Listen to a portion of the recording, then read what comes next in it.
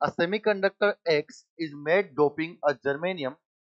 यहाँ पर दो दिए हुए हैं, एक X दिया हुआ है, एक Y दिया हुआ है। अगर X की बात करें तो जर्मेनियम की डोपिंग कराई है हमने आर्सेनिक के साथ।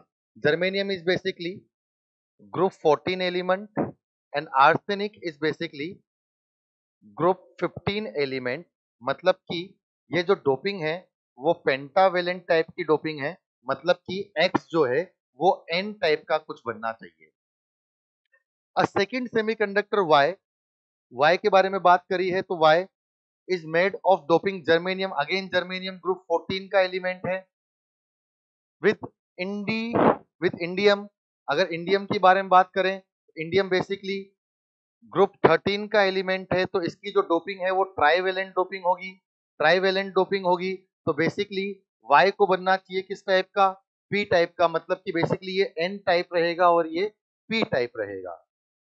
और अगर यहाँ पर इसको इस तरीके से बायस किया है तो एन को पॉजिटिव से और वाई को नेगेटिव से मतलब कि ये रिवर्स बायस है। तो ऑप्शन देखते हैं एक्स इज़ पी टाइप नहीं गलत है। X is N type Y is P type सही है। जंक्शन इज़ फॉरवर्ड बायस एकदम गलत बात है। जंक्शन तो रिवर्स बायस हो रहा है यहाँ पर। एक्स पी टाइप है, ये भी गलत हो गया तो ऑप्शन डी हमारा सही होना चाहिए। चेक कर लेते हैं। X is N type Y is P type and junction is reverse bias मतलब option number D should be our correct answer